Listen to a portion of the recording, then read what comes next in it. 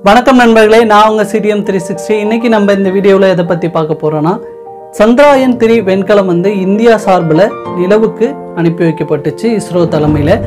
இந்த சந்திராயன் த்ரீ எந்த கட்டத்தில் இருக்குது நிலவின் மேற்பரப்பை போய் அது தரையிறங்கிடுச்சா? சேஃபாக லேண்ட் ஆகிடுச்சா இந்தியாவுக்கு போட்டியாக ரஷ்யாவிலேருந்து கிளம்பின விண்கலம் நிலவை போய் சேர்ந்துருச்சா?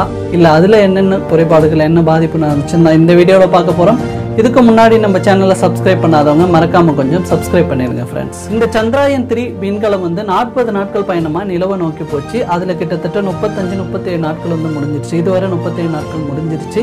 இதுவரையிலும் என்ன ப்ராசஸ் நடந்திருக்குன்னு சொல்லிட்டீங்கன்னா கரெக்டா போய் லான்ச் ஆயிட்டு அதுல இருந்து லேண்டரை தனியா பிரிச்சு எடுத்துட்டாங்க. லேண்டர் அப்படின்னா என்னன்னா லேண்டர் தான் முக்கியமான செயலியே இந்த ப்ராசஸ்ல ஏன்னா அது போயிட்டு தான் எல்லா ப்ராசஸையும் படம் பிடிச்சி அங்க இதுக்கான ஆய்வுகள்லாம் அது மட்டுமே தானியங்கியா செயல்பட்டு அதுவே எல்லா போட்டோஸ் வீடியோஸ் எல்லாத்தையுமே அனுப்பி கலெக்ட் பண்ணி மொத்தமா வந்து கீழே அனுப்பிச்சு விட்டுரும். லேண்டர் வந்து இப்போ செயற்கைக்கோள் இங்க இருக்குன்னா இந்த லேண்டர் வந்து நிலவோட மேற்பரப்புல ஒரு குறிப்பிட்ட தூரத்துல வந்து இருக்கு. இது வந்து சேஃபா வந்து லேண்ட் ஆகணும். நிலாவுல வந்து சேஃபா வந்து அதோட தரையில லேண்ட் ஆகணும். ஆல்ரெடி சந்திராயன் டூ வந்து இந்தியாவிலேருந்து அனுப்பியிருந்தாங்களா? இது எந்த இடத்துல ஃபெயிலியர் ஆச்சுன்னா நான் சொன்னேன் இல்லையா? இப்போ நிலாவுக்கும் அந்த லேண்டர் பிரிஞ்சு வந்து அங்கே உட்கார்ற டைமிங் இருக்குல்ல. கீழே வந்து செட் பண்ணி கீழே தரையில் உட்காரும் போது அதோட கால்களில் வந்து பழுது இருந்திருக்கு. அந்த லேண்ட் ஆகிற இடத்துல வந்து ஃபால்ட் இருந்ததுனால சந்திராயன் டூன்ற பிளானே வந்து டிசார்டர் ஆகிடுச்சு ஸோ வந்து சந்திராயன் த்ரீயை இவங்க ரெடி பண்ணும்போது இதுக்கான ப்ராசஸை முக்கியமாக கொடுத்து தான் ரெடி பண்ணி அமைச்சிருக்காங்க.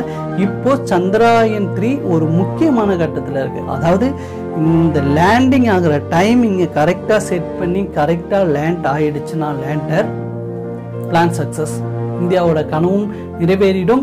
இந்தியாவை பார்த்து உலகமே வியக்கிற அளவுக்கு ஒரு மிகப்பெரிய சாதனை வந்து சந்திராயன் த்ரீ பறிச்சிடும் அதனால இது ரொம்ப இறுதி கட்ட பணிகள்ல இருக்கு. இப்போ திடீர்னு என்ன ஒரு விஷயம் இருந்துச்சுன்னா இந்தியாவுக்கு போட்டியா ரஷ்யா லூனோ அப்படின்ற ஒரு ராக்கெட்டை வந்து அங்க அனுப்புனாங்க.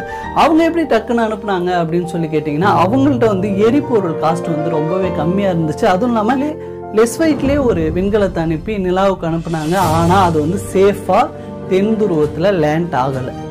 அதுதாங்க பிரச்சனை. அது சேஃபாக தென் துருவத்தில் லேண்ட் ஆகாததுனால லூனோ ஃபெயிலியர் ஆயிடுச்சு. இப்போ நிலவில் இருக்கிறது இந்தியாவோட ஒரே ஒரு சந்திராயன் த்ரீ விண்கலம் மட்டும்தான். இந்த லேண்டர் எப்போ தரையிறங்க பிளான் பண்ணியிருக்காங்கன்னா இருபத்தி நாலாம் தேதி ஈவினிங் அதாவது புதன்கிழமை ஈவினிங் அஞ்சு நாற்பத்தி ஏழுக்கு தரையிறக்கலாம். எல்லா சூழ்நிலையும் சாதகமாக வரும். அந்த டைமில் வந்து கரெக்டாக தரையிறக்கலாம். அப்படின்ற மாதிரி பிளான் பண்ணியிருக்காங்க. சயின்டிஸ்ட் எல்லாருமே.